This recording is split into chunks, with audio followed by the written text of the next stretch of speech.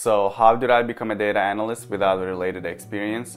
In this video, I'm gonna share my story of becoming a data analyst and will give you some advice if you're on a similar path. So I graduated from college with a computer information systems degree. My first job out of college was an IT audit role at one of the big four accounting firms. As an IT auditor, I was working with different clients and we were responsible for reviewing their IT systems and processes and making sure they were aligned. Within a year, I quit that job because I've had enough of IT audit and public accounting in general.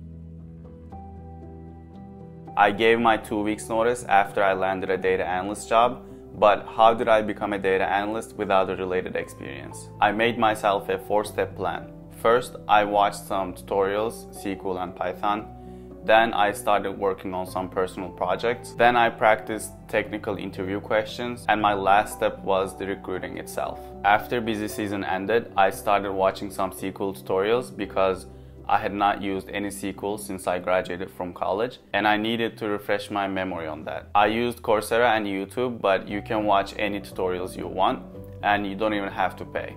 Almost all of them are great and they will do the job. The important thing here and the most common mistake people make is they just get stuck in a loophole of watching tutorials. You can only watch so many tutorials, but you have to apply what you learned and show that you can actually use the tools, which leads into the next step, and that is working on personal projects. After watching one or two tutorials on SQL, you should start working on some projects because that's how you would actually learn. You know, that's how you learn. You just keep pushing on a project. So that's what I did.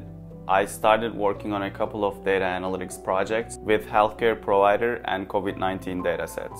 I used SQL for data wrangling and analyzing use basic functions like order by, group by, and join functions, and tried my best to use more advanced ones such as window functions, common table expressions, and temporary functions. Then I used Tableau to work on some visualizations and creating dashboards. You can also use Power BI, but I like Tableau more, and I think it's easier to work with on a Mac. After having about 2-3 projects that I can talk about and show during the interviews, I started practicing some SQL interview questions. Technical interviews are different from working on projects because when you're working on a project, you're constantly Googling if you're trying to figure out something. But that's not the case for technical interviews. So it takes practice and solving problems to get good at them. I personally practiced the questions on LeetCode. Even some of the easier questions were challenging for me at first, but the more I practiced, the better I got, just like most things in life. I was already applying to jobs when I was working on projects and practicing interview questions, but I was doing it to get myself used to the process. I even had a handful of interviews, but I started taking it seriously after I was done with the project. I was reaching out to recruiters even though I was getting emails and DMs from them almost every day. I tailored my resume for specific companies and roles. Also, I reached out to my network, people I know from college, my close friends, and people from my community. I asked for coffee chats so that I could pick their brains, ask for tips and referrals as well. I ended up not getting offers from those, but I was referred to a handful of companies.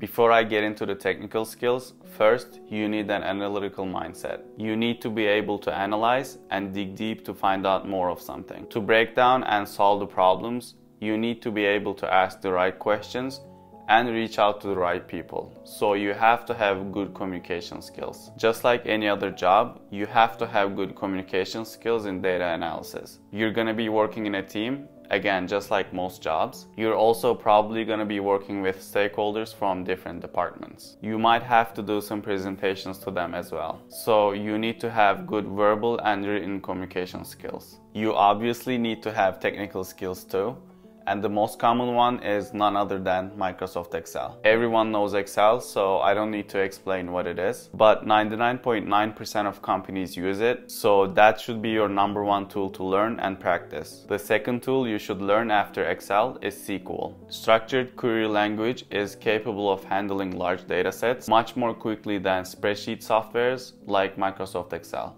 It's one of the most important tools for data analysts. SQL and Excel are the first two skills that companies ask for. After learning SQL, you should learn a BI tool, either Tableau or Power BI. Business intelligence tools are used for creating visualizations and dashboards, and that's how you communicate your findings with stakeholders as a data analyst. Again, it doesn't matter which one you learn, they're similar to each other anyway, but it's an important skill to have as a data analyst. And the final technical skill I think you should have is Python.